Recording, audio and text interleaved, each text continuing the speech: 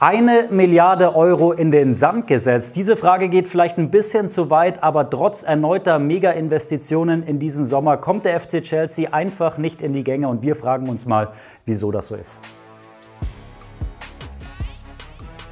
Und damit hallo zur dritten Ausgabe Story of the Week für diese Saison mit mir, Philipp. Und wir kümmern uns heute mal um die größte Baustelle im Weltfußball, glaube ich, um den FC Chelsea. Am Wochenende, da gab es eine 1 zu 3 Pleite bei West Ham United und die haben auch noch 20 Minuten in Unterzahl gespielt. Der FC Chelsea hat es trotzdem nicht geschafft, den ersten Saisonsieg einzufahren. Die stehen jetzt nach zwei Spielen mit einem Punkt da, Tabellenplatz 14 und vieles erinnert schon wieder an die Vorsaison.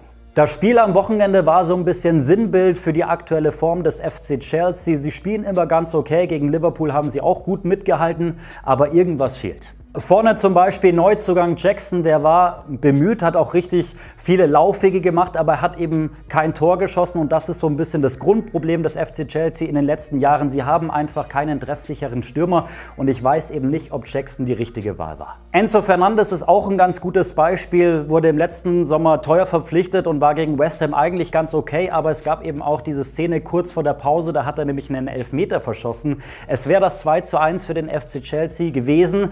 Ja, und das sind immer so Nuancen, die da eben fehlen und die das Gesamtbild des Vereins irgendwie so unrund erscheinen lassen. Sprechen müssen wir natürlich auch noch über das Debüt des Rekordmanns über Moises Caicedo. Der kam in der 61. Minute, da wurde er eingewechselt und hat dann einen ziemlich gebrauchten Tag erwischt. Zunächst hat er sich nämlich einen fatalen Fehlpass geleistet, der schon das 3 zu 1 früher bedeutet hätte. Und dann hat er kurz vor dem Ende in der Nachspielzeit den entscheidenden Bock gemacht. Er hat nämlich Emerson im Strafraum von den Beinen geholt und den fälligen Elfmeter, den hat dann Lukas Paketa zum 3 zu 1 verwandelt. Und auch dieses Caicedo-Debüt passt irgendwie ins Bild des FC Chelsea. Man hat sich vor der Saison so viel vorgenommen, man hat wieder viel Geld für Spieler ausgegeben, hat einen neuen Trainer geholt, aber zusammenlaufen tut immer noch nichts. Todd Bowley, der Chelsea-Boss, der hat jetzt in den zwei vergangenen Transferperioden fast eine Milliarde Euro ausgegeben für neue Spieler. Logischerweise hat das kein anderer Verein in Europa geschafft in dieser Zeit. Und Fun Fact, nicht mal alle 20 spanischen Vereine haben das in der Summe ausgegeben.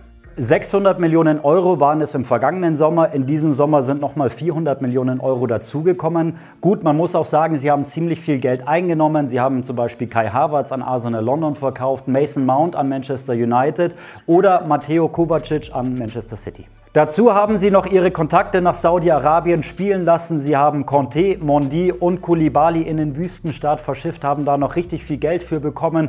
Sprich, es gab eben diese horrenden Ausgaben, ja, aber man hat auch viel Geld eingenommen.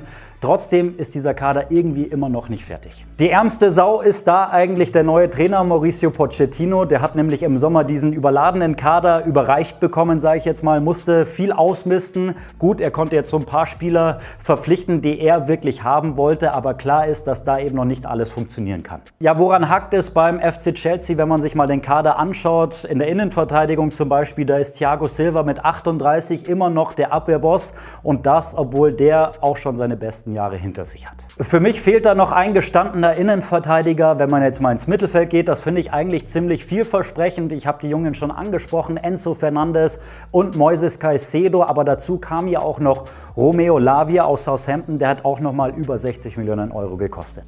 Damit ist dieses Mittelfeld-Trio 322 Millionen Euro schwer. Enzo Fernandes 22, Moises Caicedo 21, Romeo Lavia 19 ist auf jeden Fall ein entwicklungsfähiges und spannendes Mittelfeld.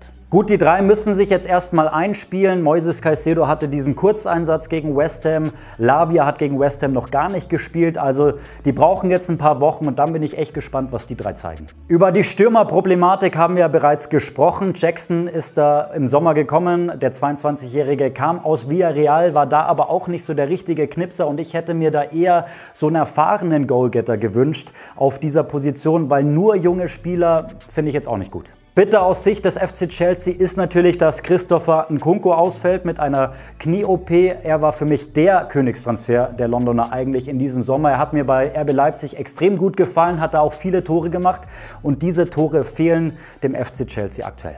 So, was machen wir jetzt mit dem FC Chelsea, mit diesem großen Club? Ich glaube, wir müssen dem Ganzen mal ein bisschen Zeit geben, dem neuen Trainer, vor allem Mauricio Pochettino. Der muss die Mannschaft erstmal kennenlernen, der muss seine Spielidee vor allem implementieren. Ich glaube, er hat wirklich aktuell die anspruchsvollste Aufgabe im Weltfußball. Geduld ist also gefragt, wobei wir kennen den FC Chelsea, die Mechanismen, Ergebnisse müssen her, sonst könnte es auch für den neuen Trainer bald eng werden. Was meint ihr denn zum FC Chelsea? Muss man dem Ganzen ein bisschen mehr Zeit geben, dass hier wieder ein Top-Team entstehen kann? Oder ist in der vergangenen Saison vielleicht zu viel kaputt gegangen und ist der FC Chelsea vielleicht nur noch ein Team, das im Mittelfeld der Liga mitspielt?